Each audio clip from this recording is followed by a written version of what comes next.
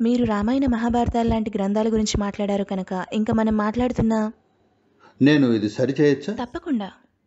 చూడండి మనం ఇక్కడ ఒక విషయం తప్పుగా అర్థం చేసుకోకూడదు. గ్రంథం అంటే ఏమిటి?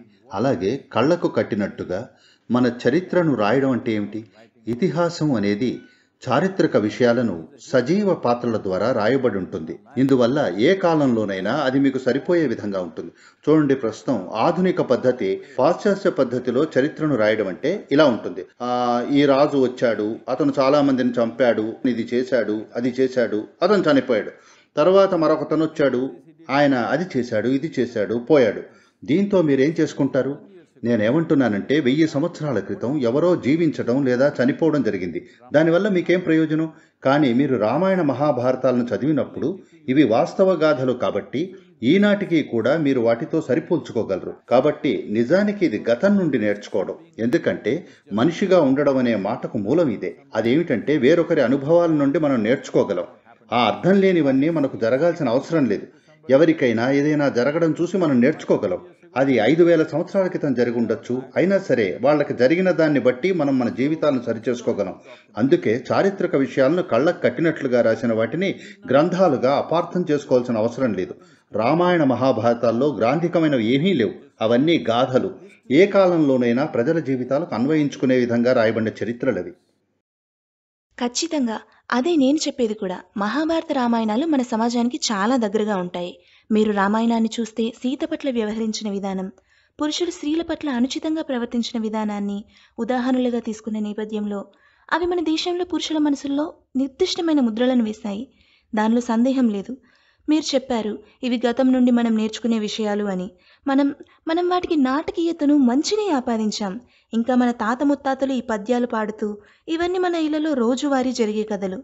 సద్గురు మీకు నా ప్రశ్న ఏంటంటే ఎప్పుడైతే మన తరతరాలుగా ఈ విషయాల నుండి తరతరాలుగా మనం నేర్చుకుంటున్నప్పుడు రామాయణ మహాభారతాలు ఇంకా చాలా చాలా కథలు.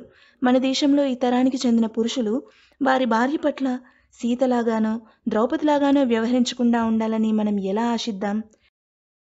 ఈ తరం వారు దీన్ని పూర్తిగా అర్థం చేసుకోవాలనుకుంటున్నాను. మన జీవితాంతం మనం నేర్చుకున్న విషయాలు ఎలా తుడిచివేయాలి? మీరు ఒక స్త్రీని సగౌరవంగా వ్యక్తిగా వారికంటూ కొంత ఆలోచనతో జీవించేవారిగా చూడాలంటే ఒక రీఫ్రెష్ బటన్ నొక్కి మళ్ళీ సరికొత్తగా ఎలా మొదలు పెట్టాలి దీన్ని మనం మన పిల్లలకు ఎలా నేర్పాలి అనేది నేను మిమ్మల్ని అడగాలనుకుంటున్నాను. ఇక్కడున్న ఆడవారిని అడుగుదాం. వాళ్ళు తమను సీతలాగా చూడాలనుకుంటున్నారా? నేను దీన్ని సరియైన దృష్టికోణంలో మీ ముందుంచుతాను. ఉదాహరణకు చెప్తున్నా. ఉదాహరణకు మీరు ఉత్తరప్రదేశ్లో నివసిస్తున్నారు అనుకుందాం ఉం? ఈ రోజుల్లో కాదు ఐదు వేల సంవత్సరాల క్రితం. 5,000 years ago. ఎవరో ఒకతను శ్రీలంక నుంచి వచ్చి మిమ్మల్ని కిడ్నాప్ చేసి తీసుకెళ్ళారు.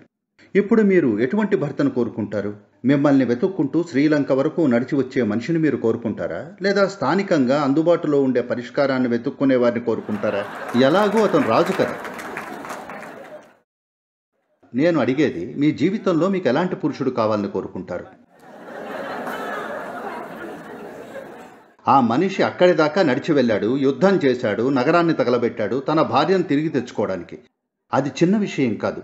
కానీ అతను మళ్ళీ అగ్ని పరీక్ష పెట్టాడు. తన భార్యపై నమ్మకం లేదు. మనం ఈ మాటలను అక్షరాలా తీసుకుంటున్నాం. అగ్ని పరీక్ష అంటే అర్థం ఎవరో మంటల్లోకి వెళ్ళాలని కాదు దాని అర్థం. ఆమెకు ఒక పరీక్ష పెట్టారు. ఖచ్చితంగా అతను ఒక రాజు. అందరూ మిమ్మల్ని ఆదర్శంగా తీసుకుంటారు. మీ ప్రవర్తన ఎలా ఉంది? మీరేం చేస్తున్నారు అనేది చాలా ముఖ్యమైనది ఎందుకంటే మొత్తం దేశ భవిష్యత్తు మీ మీదే ఆధారపడి ఉంటుంది. ఈ రోజు మన దేశంలోని అతిపెద్ద సమస్య ఏమిటంటే ఆ కాలం నుండి ఇప్పటి వరకు ఇది ధృతరాష్ట్ర సిండ్రోమ్లా తయారైంది. సరేనా? ఆయన ఆ రోజుల్లోనే ఒక ఆదర్శాన్ని చాటి చెప్పాడు. ఎటువంటి పరిస్థితి అయినా ఆమె గర్భవతి. అంటే ఆయన కుమారులు గర్భంలో ఉన్నారు. ఒక రాజుకు కుమారులు పుట్టడం చాలా ముఖ్యం. ఎందుకంటే అది ఒక రాజ్యం. అయినా కూడా ఆయన ఆమెను అడవులకు పంపాడు. లేదంటే అప్పుడు రాజ్యంలో గందరగోళం నెలకొంటుంది. మీరు దీన్ని ప్రతికూల విషయంగా చూస్తున్నారా?